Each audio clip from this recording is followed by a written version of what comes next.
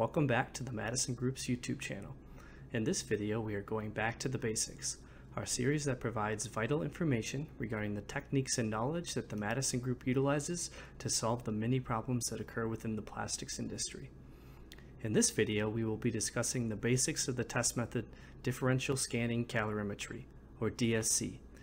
This video is intended to provide you with the pertinent knowledge that is required to understand the results and applications for one of the most important test methods in polymer analysis.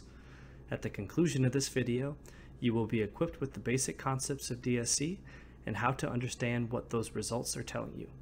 We are the Madison Group, and we are your polymer experts.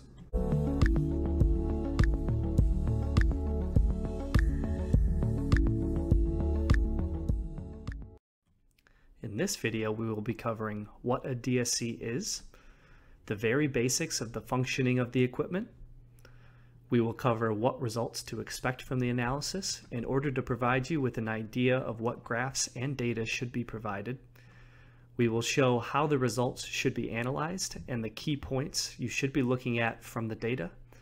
Finally, we will tackle what specific problems can be investigated with this technique and some of the limitations of this particular piece of equipment. So what is differential scanning calorimetry? DSC is a thermoanalytical technique that measures physical and chemical changes within a material in response to temperature. The equipment provides qualitative and quantitative information about endothermic and exothermic processes or changes in heat capacity, in polymers, these processes and changes in a material are important to understand the material properties and are based upon the polymer type, molecular weight, additives, and many other factors. This is a differential scanning calorimeter. At its most basic, a DSC is a system that subjects a small sample to variations in temperature and measures the response of that material. The sample is placed into a pan, which is then inserted into the cell of the machine. This cell is where the test is conducted and the data is collected. The DSC exports information on the temperature and heat flow through the sample. To remove effects of the internals of the DSC machine, the heat flow from an empty reference pan is compared and subtracted from the heat flow from the sample. The result is information that tells you how much energy the polymeric sample has absorbed or released and how the sample has changed with respect to temperature. This is a typical graph that is outputted from a DSC test of a polymeric material. This graph is plotted with temperature on the horizontal axis and heat flow on the vertical axis. Notice that the heat flow is normalized per unit weight of the sample. Another important piece of information is the orientation of the curve.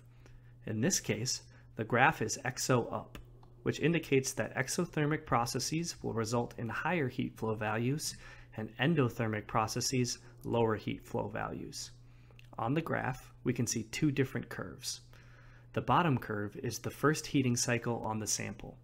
Since we are heating the material, the curve is read from left to right.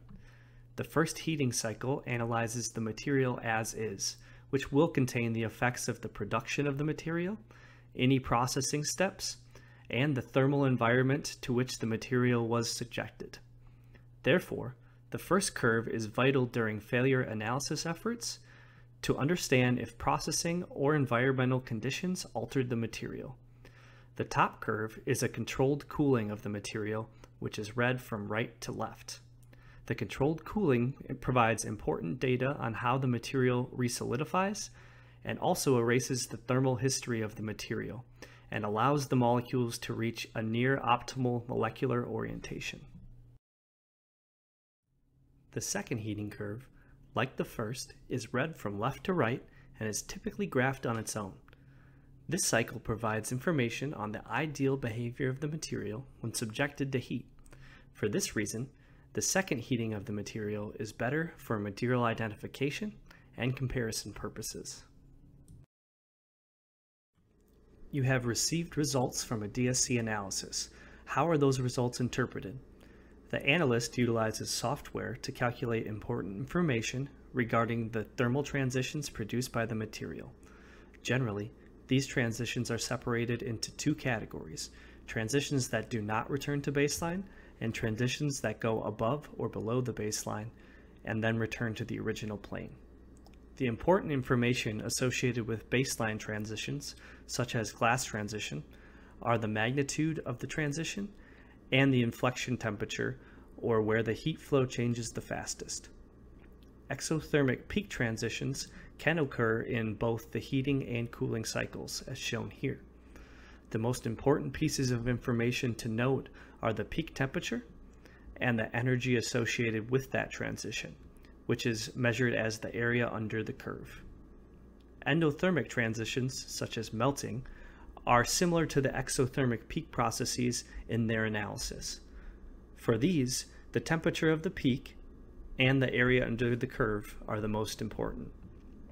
This data should be compared across the first and second heats to obtain the most information from the analysis. In polymers, we are typically evaluating for glass transition temperature, melting endothermic transitions, recrystallization exothermic transitions, and additive evolution.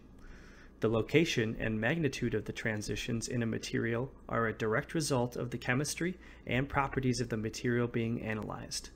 It takes an experienced analyst to take all of the information displayed and provide results that are useful for problem solving. One of the primary uses of DSC is material identification. In polymers, one of the most important characteristics is if the resin is amorphous or semicrystalline. This property alone provides a significant insight into the performance of the material for processing and mechanical behavior in a finished part. For semicrystalline materials, the melting point can be used to identify the family and type of resin. Say you are provided with seven different materials and are asked to identify those materials.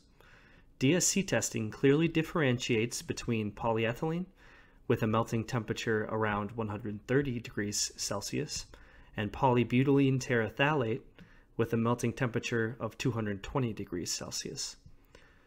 This same test method can be used to differentiate the glass transition of materials and compare this with known values for polymeric resins. This is shown by the differences in glass transition of ABS at approximately 110 degrees Celsius and polycarbonate at 148 degrees Celsius. Further, combinations of these transitions can be used to identify the presence of blends or alloys that are commonly used in the industry.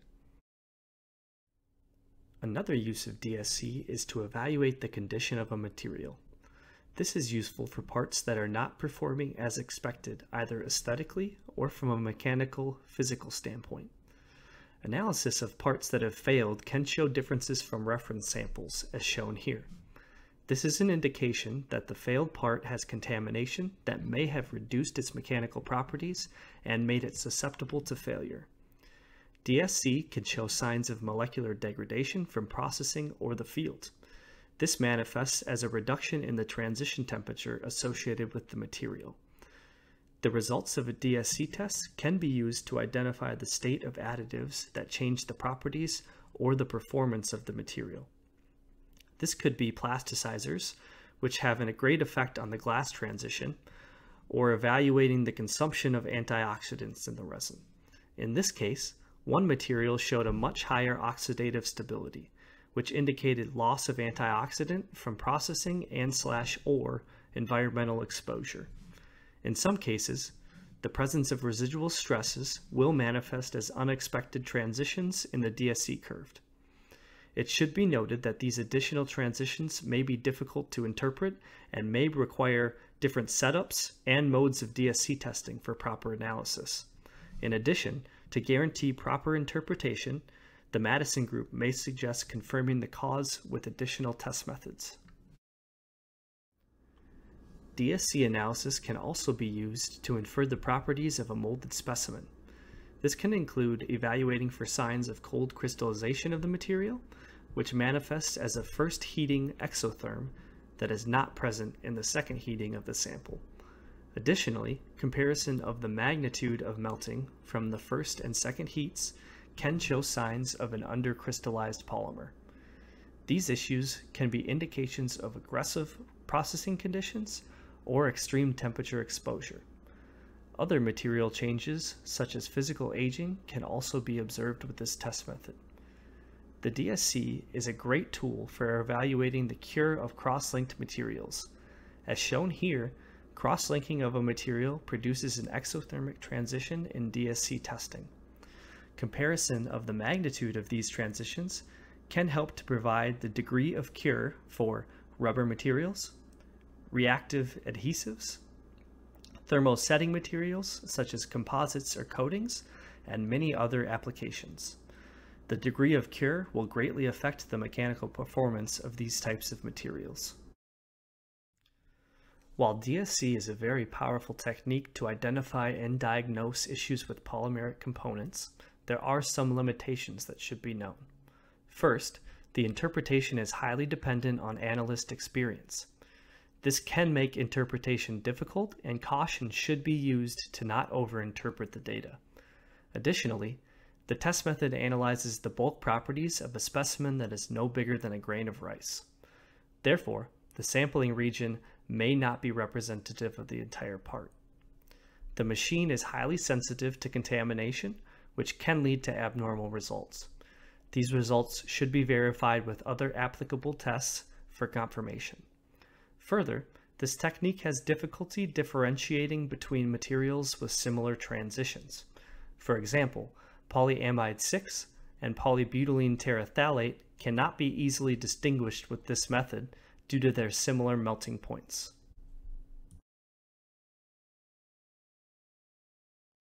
Thank you for watching.